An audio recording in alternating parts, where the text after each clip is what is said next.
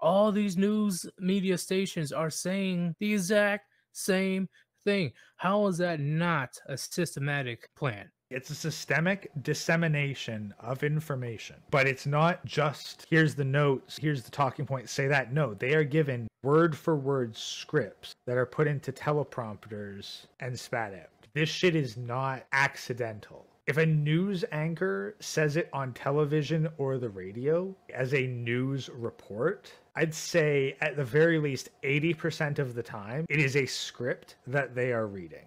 I agree. And side character says six mega corporations own most of the media in the US. Right.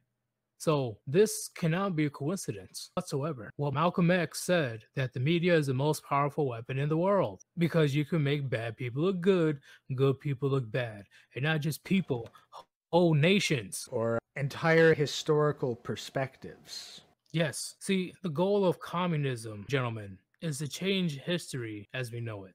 Literally change it in front of your very eyes. Look at past communist leadership that are willing to wipe out knowledge from history, burn all the books. They're willing to wipe you from existence if they feel that you're a threat to their power, per se. Right? Stalin did it all the time. Look at his uh, photos. The original photo had around four or five people in it, and then it will end up with just like two changing history itself will make themselves look even more powerful. Here's an example of them attempting to do that right now with this new movie, like The Woman King. They're trying to rewrite African history to say that Africa was anti slavery and that it was the white man who brought the concept over. And Woman King makes no fucking sense. yeah, that too. right? They're changing historical events especially when this crew that they put in the Woman King, they're the ones that were attacking other tribes and selling them as slaves.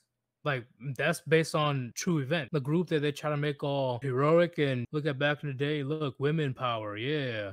No, they're the group that enabled the slave trade. They were they were a part of that hardcore. And they try to make them look all fucking heroic and shit and Hollywood.